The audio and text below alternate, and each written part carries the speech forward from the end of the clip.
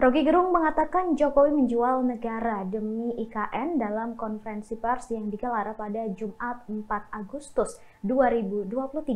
Hal ini karena Jokowi yang sempat pergi ke Cina untuk meminta investor asing menanam modal di IKN. Menurut Rocky Gerung, IKN akan menghilangkan masyarakat Dayak sehingga ia menegaskan dirinya membela masyarakat Dayak. Ia kemudian meminta maaf karena membuat masyarakat Dayak marah. Hal itu disampaikan oleh Rocky karena sebelumnya Majelis Adat Dayak Nasional atau MADN dan Dewan Adat Dayak atau DAD se-Indonesia menilai pernyataan Rocky tak hanya dianggap menghina Presiden Jokowi tetapi juga IKN. Mereka kemudian berencana akan melaporkan Rocky ke pihak berwajib. Bahkan mereka sempat menggelar demo di depan Mabes Polri pada 2 Agustus 2023 lalu dan dihadiri oleh 250 orang.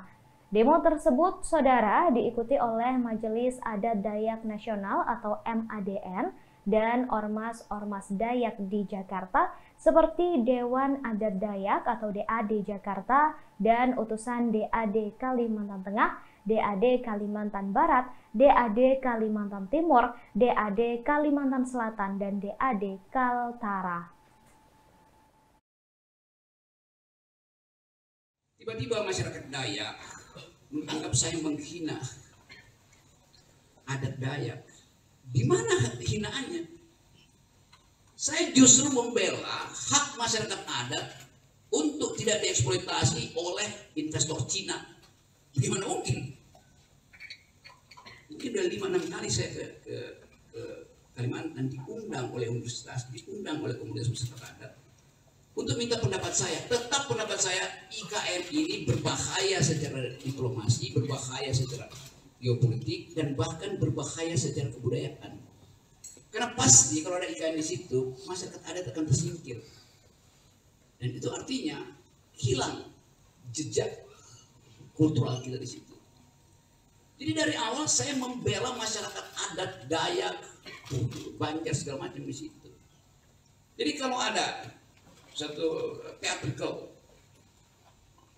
ada binatang digorok di situ, saya menyesalkan. Siapa yang provokasi teman-teman teman-teman Dayak saya yang pernah berkali-kali mengundang saya? Itu itu soalnya tuh. Jadi soal-soal semacam ini yang mau saya ucapkan untuk menerangkan bahwa saya mencintai bumi Kalimantan karena saya bertahan jangan itu dijual. Pada waktu itu dua hari sebelumnya kan beritanya Pak Jokowi pergi ke Cina untuk minta investor asing tanam. Bahkan kira-kira Pak Jokowi bilang udah saya kasih konsesi 180 tahun, Anda tolong buatkan kami ibu kota. Bagaimana mungkin? Itu ya presiden menjual negara. Kenapa mesti harus Memang faktanya presiden. Terima kasih sudah nonton.